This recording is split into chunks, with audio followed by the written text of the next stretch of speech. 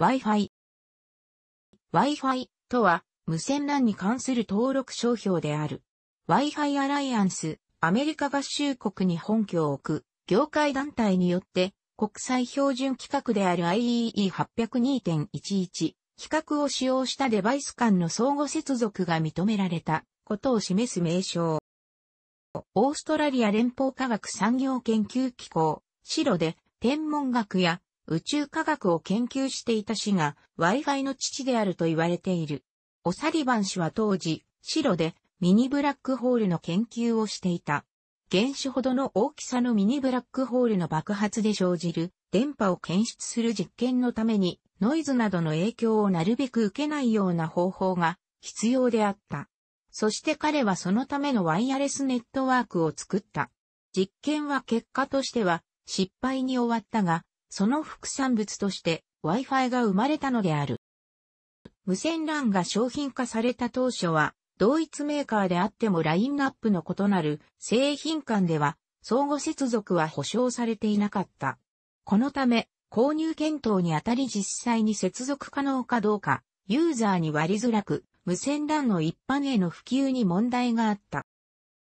Wi-Fi アライアンスは、ユーザーのニーズを組んで技術が成熟できるように、この問題を解決するための団体として1999年に、ワイヤレスイーサネットコンパチビリティアライアンス、WICA という団体名でスタートし、2000年3月から認定業務を開始した。その後 Wi-Fi の認知度が高まってきた2002年10月に Wi-Fi アライアンスに改名した。ある製品が同じブランドを表示する他の製品と組み合わせて利用できるということをユーザーが確認できるようにするため Wi-Fi アライアンスは Wi-Fi セルターファイドブランドを作った。認定された機器には Wi-Fi アライアンスの登録商標である Wi-Fi ロゴの使用が許可される。Wi-Fi の名称は、例えば IEEE802.11 などの無味乾燥な規格名称よりもキャッチーな名前を求めて、ハイ、ファイ、ハイファイの韻を踏んで命名された。ワイヤレスファイデリティの略であるという由来解釈は意味を持たないのは、まずいとの理由から命名の後に後付けされたものである。なお、当初は無線 LAN の個別規格ごとに別々の名称を使用する計画もあり、2001年当時に IEEE802.11a に対して Wi-Fi 5という認証ロゴを与えるという発表がされ、結局実際には規格ごとのロゴ付与は行われなかったが、2018年に至って IEE802.11N、IEE802.11AC、IEEE802.11ax に対して、それぞれ Wi-Fi 4、Wi-Fi 5、Wi-Fi 6とロゴとナンバリング規格が付与されることが決定された。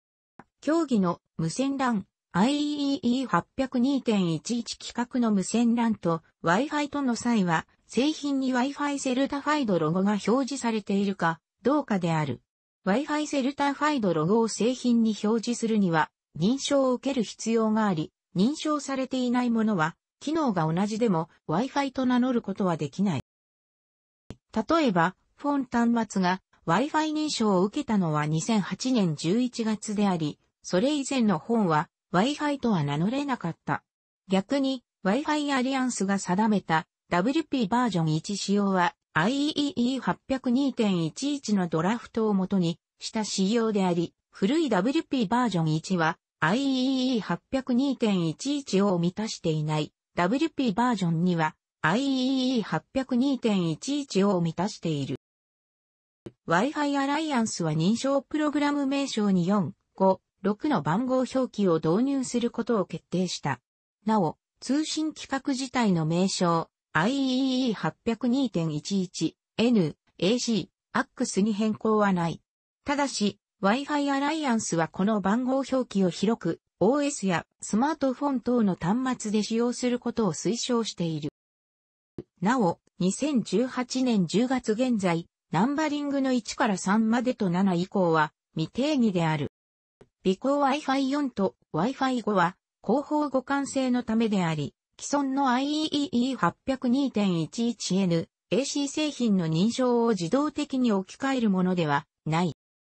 Wi-Fi により異なるメーカーの機器間での相互接続性が保証されているため、コンピュータ、フィーチャーフォン、スマートフォン、タブレット、PDA のような多様な機器が無線 LAN を利用し、例えばアクセスポイントを経由し、インターネットへ接続できる。アクセスポイントによりインターネット接続が可能な領域をホットスポットという。ホットスポットは部屋の中だけのものから複数のアクセスポイントを重ねることで数キロメートル四方にまで及ぶものもある。無線 LAN はまたメッシュネットワークを構築するために利用できる。両方のアーキテクチャがコミュニティネットワークで使われている。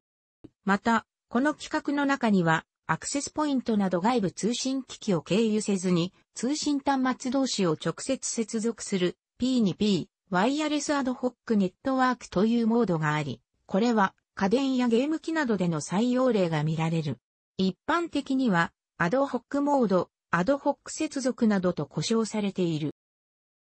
当初想定されていたノートパソコンなどのモバイルコンピューティング機器のローカル、エリアネットワーク以外にも PSP、PS Vita などの携帯ゲーム機やフィーチャーフォン、スマートフォン、スマートテレビ、音楽プレイヤー、デジタルカメラ等の家電製品にも搭載されている。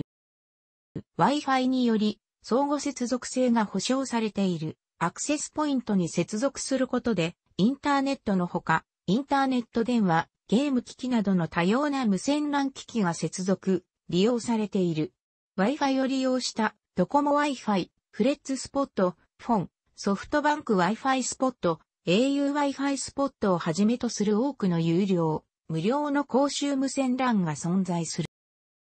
また、携帯電話網を由来とした 3G、ハスパ LTE や Wi-Fi の広域版とも言える、モバイル WiMAX のような高速無線アクセス網をモバイルブロードバンドのバックボーンとし、二次電池を内蔵した小型のアクセスポイント、モバイル Wi-Fi ルーター製品が出現し、Wi-Fi の弱点である面的なエリア展開を保管している。